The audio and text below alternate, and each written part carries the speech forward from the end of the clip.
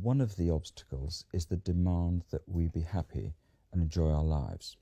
I think it's a huge distraction. Um, and it's very, very undermining, I think.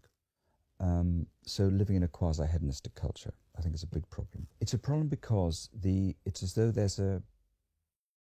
If we make this crude, in the old days, whenever that was, there was an internal injunction to be good. Now the injunction is to be happy or to be enjoying yourself.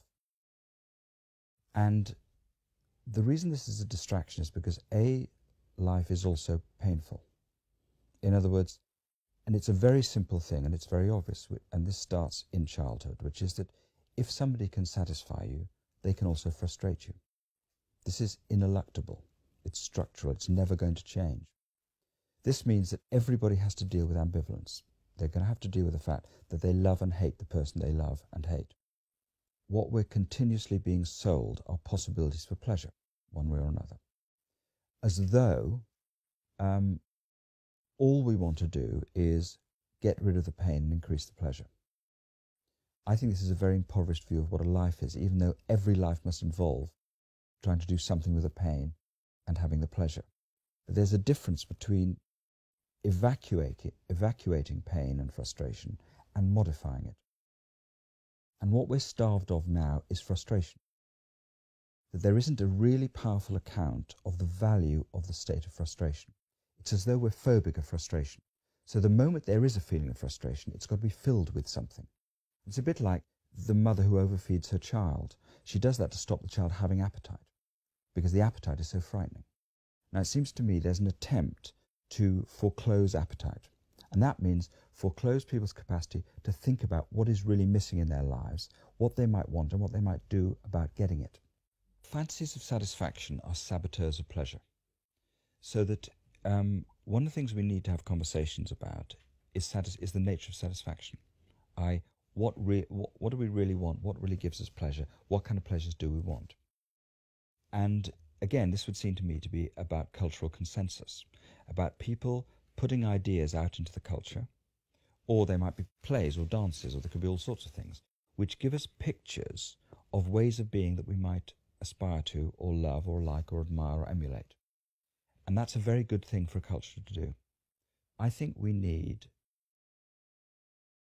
better enticements to adulthood that are not about becoming omnipotent, omniscient, having all the girls, all the money, all the. because this is all trivial and childish. We need better pictures of satisfaction that have more to do with an adult sense of the way the world is. But adulthood has got a really bad press. And for some reason, children are idealized. And I think they're idealized because they're not adults. It's, our, it's a symptom of real despair in the culture, idealizing children. What it really says is being adult is a disaster. It's going to be the best period of your life. Being a child's terrible in many ways because you're so helpless. There's so little you can do. I think that it would be possible to have pictures of good lives that are not set up to make one fail. So that a more realistic idea, as opposed to an ideal, would be one that is genuinely attainable. So, if a child says to you, five year old boy says to you, I want to be an astronaut, you don't say, No, no, you're a five year old child. You say, That's a great idea. If an adult says to you, I want to be an astronaut, you say, Are you going to be able to do that? And how are you going to do it? In other words, we would be talking about fictions rather than ideals. We'd be talking about ideas that are more or less transformable rather than simply ideals, which are things you have to comply with. Seems to me ideals very often create sort of fight or flight. You know, either you run away from it, I get rid of it and produce another one, or you comply with it, and or you, as well, battle with it. I would be interested in people producing fictions that are discussable, that are realistically possible rather than humiliating, because the other thing about cultural ideals is they're set up to humiliate us. So that the fictions would be non diminishing, they would be genuinely possible, but they would keep alive the idea that we don't know who we might become. and that who we want to be is very important.